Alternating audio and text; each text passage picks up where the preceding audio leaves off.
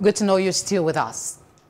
Traders, Okada riders, taxi drivers, and more in communities in Lagos, Ogun, and Abuja flouted the lockdown order over the weekend.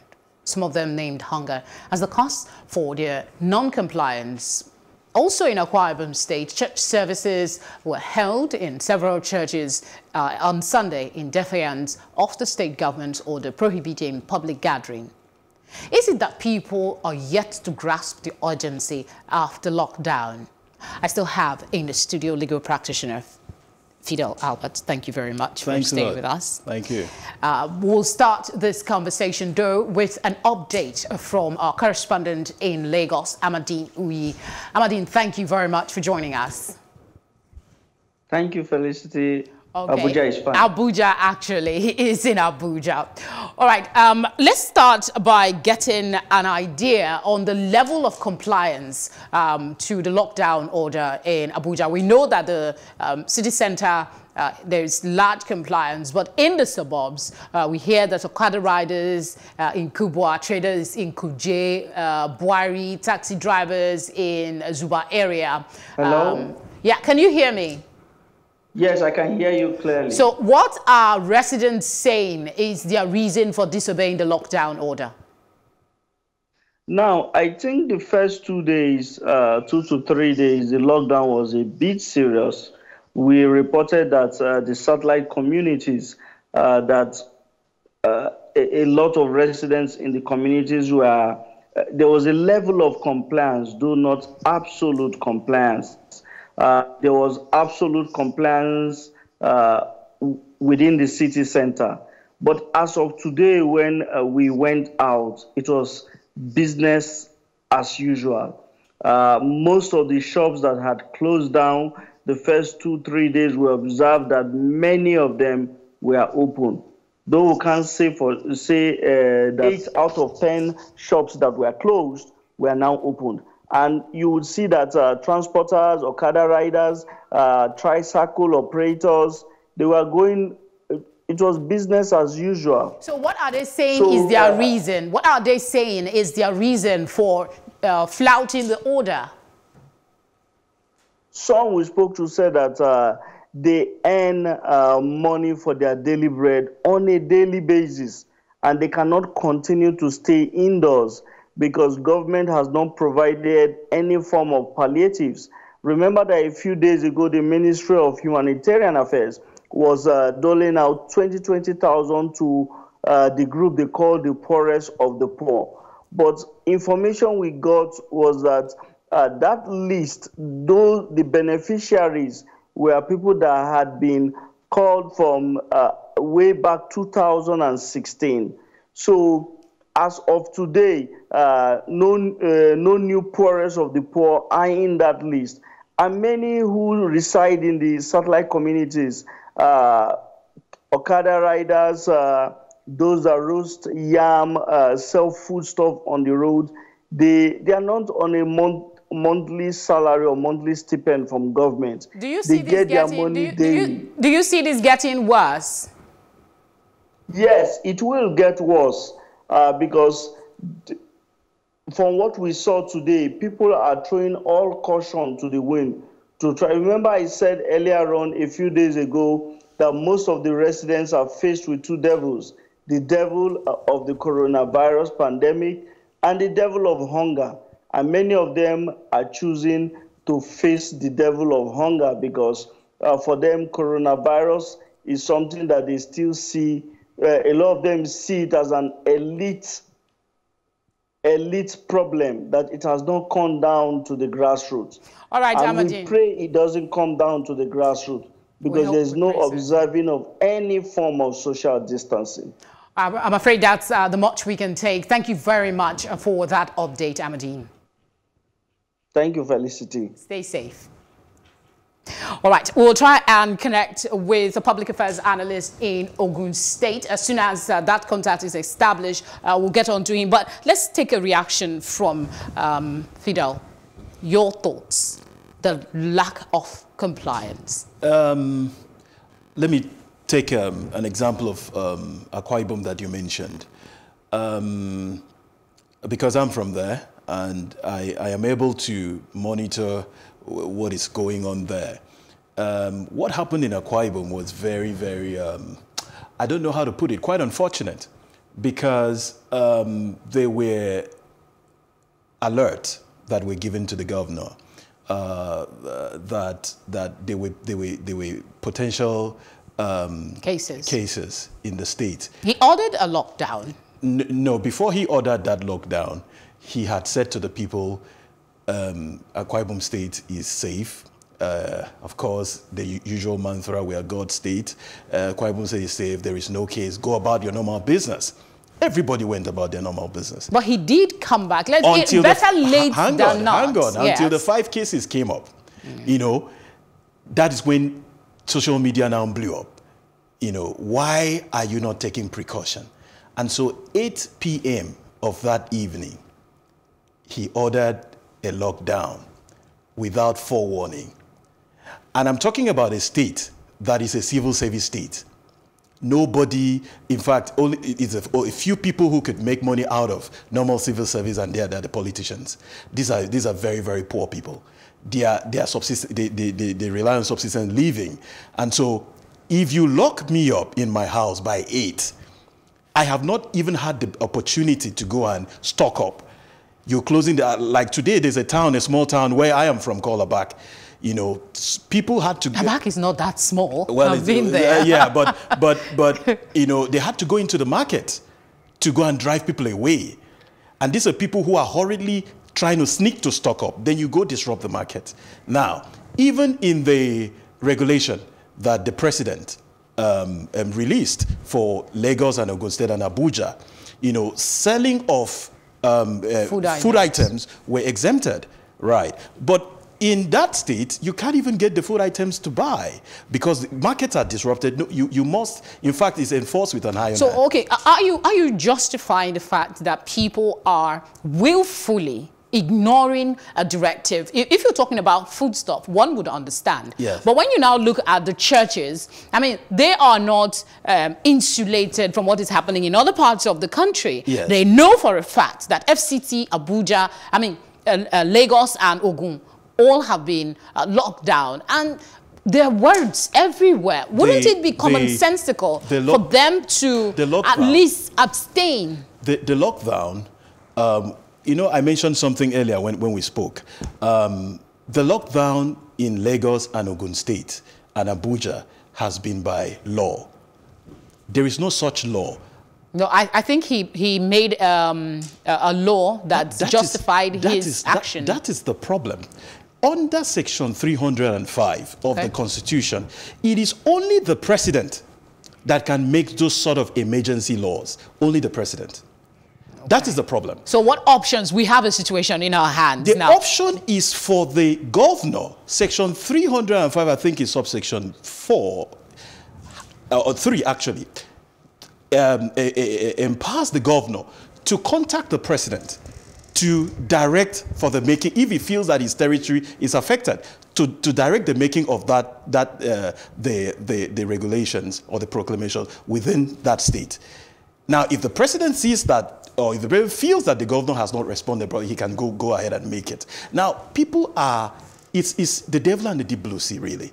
And all leads to death. If you're hungry, you're going to eventually go to die. if, you're, if you're attacked by, if you're, if you're infected by, if you're infected by coronavirus, you may survive. People have been surviving, you know, so there's a chance of survival. But but so hunger, is that is that part of the reason you that think is why people, people are if, if, if that is why people are a, a man naturally a man's natural instinct is to be free. He has to see a reason why, and then you have to give an alternative for, for, for, for, for, for locking him in. If you're locking him in without any palliatives, there is certainly, look at in Italy. In Italy, people began to protest. People came out and began to protest. There was upheaval because there is so much a man can take. As I am here, I'm a lawyer. Have not been able to go go, go, go to work. I mean, you see, um, um, the the uh, in fact, it was even very funny. I was telling some people today, um, uh, how is uh, uh, Funke Akindele, uh, going to do in court without her lawyer? How is the lawyer going to go to court? They say, oh, yeah, uh, she, she's going to get a lawyer. how is the lawyer going to get to court? Because there are policemen everywhere. What are you, where are you telling them you're going to? So they, if, if I was her lawyer, I was going to court when she's arrested and she, she was arraigned today, they will also arrest me on my way there. And then I will also have to get a lawyer to come and to come and bail me out. You know, they say, okay, uh, in court, you only you can only do very um, urgent matters. However, how are you even going to att attend the proceedings? Okay, uh, uh, you actually answered some of the questions I was going to ask you. Yes. And one was the issue of hunger and, I mean, between hunger and coronavirus. Uh, so I'm just going to go ahead and talk about the security officers that have been deployed to the streets. Yeah. Um, the IGP came out to caution them to be of good behavior Yeah. and treat citizens with utmost respect. But we do know there are instances where these officers are also not treated right. And some of them, speaking on condition of anonymity, has said that they they feel like their hands are tied in trying to get these people to obey uh, others. In the Akwa Ibom that you talked about, in the Lagos that we talked about, you see people playing football and uh, disregarding uh, the order. And they're saying that they're handicapped. What better way do you think um, the police can, you know, First of all, I, I, make people Yeah. obey orders without necessarily using force. Because the next thing they will say now, because I'm talking to you, you're not listening, the next thing is force. it's difficult in this country because of our psyche. First of all, the, our natural tendency is not to. We, we really don't obey orders. We don't. We don't. Um, um, and I'm sorry to speak like this, but I mean I'm a Nigerian. Now, um, why some people don't even say, okay, so why should I obey? Is when you apply, you have a lopsided way of applying the laws. You know, if I, if I see you, they say everybody should be inside, and I see you allowing one person to go out, now this will ask why? Why, why is he, why is he, why are you not applying to him, not, not, uh, and then you, you want to enforce, enforce it on me? So I'll, I'll tend to disobey. The policemen actually there, apart from the fact that, for example, Akwa Ibom State, you mentioned there was a story around a, a medical doctor who was going to work was was was was, harassed, was yeah. brutalized by the police, and I'm happy that the Commissioner of Police in Akwa Ibom State, you know, did and they that. did an order room trial and all that, you know. Um, so when people see that there is a there is a consequences for actions, right? They will they will Buckle up. they, they will buckle up. Yeah, it's, it's, it's very important. But then they are also exposed. All the policemen I've seen, you will not see even one with PPE. I, I mean, you don't think that, or you shouldn't imagine that um, coronavirus is going to respect the fact that you're a Yeah, sergeant and all that, you know. But there is no, absolutely no protection for them. What is the IGP doing for these policemen? They are not immune to this. They are standing out there. And, um, and sometimes they have contacts with people, but they don't have any PPE e- equipment on them to, to so it's, it's, it's something that has to be looked at uh, very, very, very um, soon. I do agree with you there. Thank you Yeah. very much for your thoughts on You're the welcome. program. Thanks a lot. Very grateful. Right, we will take our Plus report now, and when we return, I'll be giving my take. Do stay with us.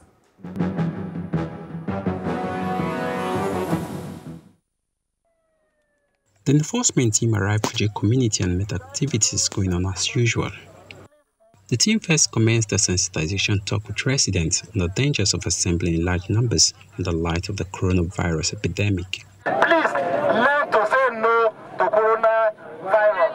Learn to say no to what? Coronavirus. And for those of us that have no business in the market, let them go home. Beware of Babambuna. You understand? Beware of identify people that are pushing your wheelbarrow. All those things, when you touch a surface, pick coronavirus. When you dip your finger into your nose or your mouth, your eyes, if the virus is there, it will enter inside you. And that will become a problem for you and your family. The team now began dispersing the crowd following the mandate of the task force, which is to enforce compliance of President Muhammadu Buhari's directive on a lockdown within the FCT. Residents at the automated teller point, ATM machine point were also dispersed. the, the, the management of this they should come out and do the needful. They are, promo- they are provided the canopy for you. It is left for you now to space yourself. Please space yourself. Let us collectively effectively and sincerely put an end to the spread of coronavirus. The social distancing here is zero. Compliance level, as Mr. Dawu raised, is zero. You are gathering in your thousands. In the next one minute, we beg all of you, in whatever faith you hold dearly, we want this junction completely empty. Everybody, please disappear. The team also discovered the mosques where prayers were being held and ordered all worshippers to leave to their homes as they were in violation of the lockdown order. The essence of you not clustering together, the essence of you creating a, an healthy space is just for the coronavirus to be stopped from its spread. But you don't seem to be ready to comply. I want everybody to leave the mosque. Anything that has to do with mat, with the kettle, anything that has to do with the mosque, that we even make a passerby to see that this is the mosque that can congregate and pray together, should be packed away. Now, as I'm speaking, they should be dispersed. The team leader Ekaro Atta frowned at the compliance level of Kuje community, describing it as a disaster waiting to happen. The assessment in Kuje is not good, but what if we are to be very candid with what we all know, which you know and I know, and the directive given day before yesterday, which some claim have been modified, but people have not been informed, I don't think that they largely contravene because uh, markets, uh, according to what they had last two week, last two days ago, was to be open from the time of 10 o'clock to 2 o'clock, which is what they all did. But Kuje is a market on its own. So the whole market open, everyone come to the road, Kuje came to the road, the vehicular movement compliance is about, uh, let me say, 80% because most of those people who are living here are essential staffs, all those working in the airport, the NIS, as immigration, working in civil defense, their office is just uh, uh, very close here, about five minutes. So they all live in Kuje. So when you are stopping vehicle, you are saying that then we have little contraventions of some persons here who are not supposed to be on the road. Those ones we have arrested here, and the DPO and the team here are doing a very wonderful job. We need to go back strongly and review the market opening policy because if that policy remains, Kuje is a failure. From Abuja, Idong Joseph, Plus TV Africa.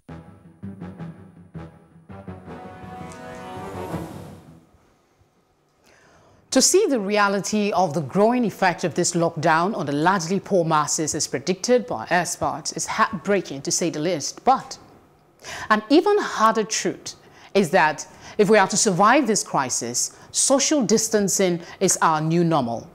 It is the best advice for now by health authorities for us to avoid a worst case scenario.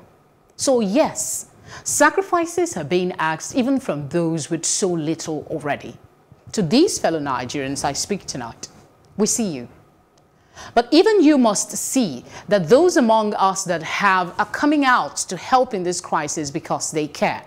Government is doing what they can. Yes, it might not be enough, probably won't be. But these are unprecedented times. We will continue to push them to do even more. You, however, must not willfully increase the risk of infection to you and your family. I understand it is hard, but please stay home. It is only for a while. We have survived a lot worse as a people. We will survive this too. Thank you for watching the program. I'll see you again tomorrow. Until then, please be well.